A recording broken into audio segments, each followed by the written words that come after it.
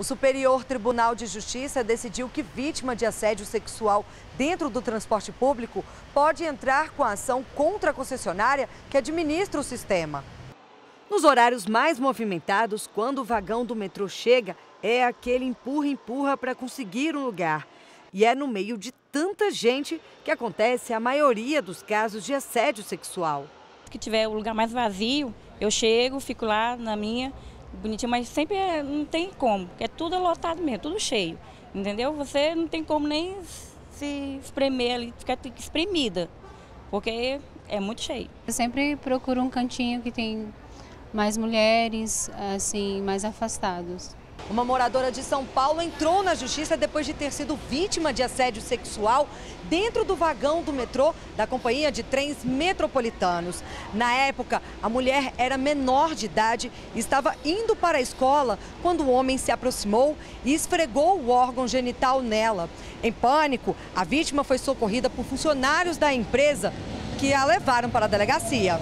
No processo, a vítima alegou que a empresa tinha responsabilidade objetiva, pois não garantiu a segurança dos usuários.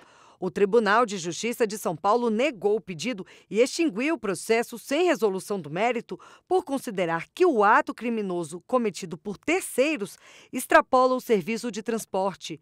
No STJ, os ministros da quarta turma determinaram que a primeira instância deve julgar a ação de indenização da mulher que foi vítima de assédio sexual.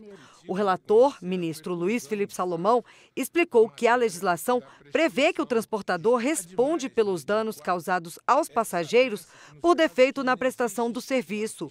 Este advogado explica quando a empresa pode ser responsabilizada nesse tipo de situação.